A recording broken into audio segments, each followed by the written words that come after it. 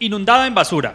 Así amanece la Plaza de la Concordia, especialmente después de los fines de semana, un hecho que se agrava en los puentes festivos.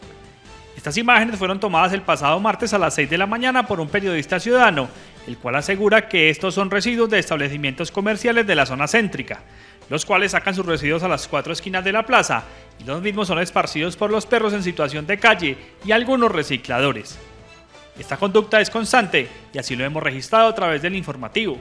Sin embargo, a la fecha no se conocen sanciones por estos hechos, ni estrategias que contribuyan a que se mejore el manejo de los residuos sólidos por parte de establecimientos nocturnos y negocios de comidas rápidas. Para obtener respuestas sobre esta denuncia hablamos con Sergio Andrés Cárdenas, encargado de Azonoche, entidad que aglutina a los establecimientos que trabajan en la zona céntrica y en horario nocturno. Eh, Juan Guillermo, con los buen día para toda la gente que está conectada a esta hora. La verdad, eh, primero pues dar claridad a la comunidad que estas basuras que se están, que la gente está dejando en el parque no son de los negocios nocturnos de rumba. Como podemos ver en las imágenes, eh, nosotros manejamos demasiado vidrio, eh, porque pues el licor es en vidrio, la cerveza es en vidrio, en fin. Y en las imágenes vemos que hay cosas de gaseosa y es como otra clase de desechos. La verdad pues eh, hoy primero que todo llamar a los comerciantes sevillanos que cuidemos nuestra cara. Nuestra cara es el parque principal.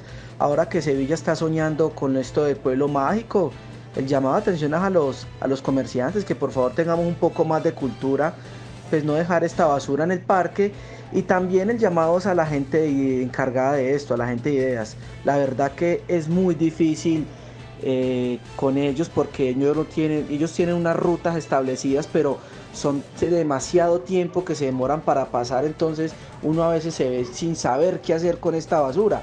Le toca estarla recolectando, recolectando, los negocios son llenos de basura, no es primera vez que pasa, entonces pues hay gente que no se aguanta y lo saca. En el caso de nosotros como gremio en la zona rosa, eh, recolectamos las basuras y esperamos a que ellos pasen y pues toca esperar porque no hay demás, pero sí qué bueno de pronto con, esta gente llegar a un acuerdo, mirar cómo podemos solucionar esta problemática, porque es de carácter urgente que lo necesitamos. Esperamos que las autoridades tomen cartas en el asunto para que la imagen que se lleven las personas que visitan nuestro pueblo mágico no sea la de un municipio inundado en basura. JCH Noticias. En Superópticos tenemos todo lo relacionado para el cuidado y bienestar de tu visión. Lentes formulados, monturas, lentes de contacto, estuches para gafas y mucho más.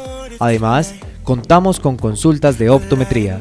Visítanos, estamos ubicados en la carrera 51, número 5606, sobre la calle Miranda, diagonal a Colanta, dos cuadras antes de la galería. Los esperamos para brindarles la mejor atención. Super ópticos para ver la diferencia.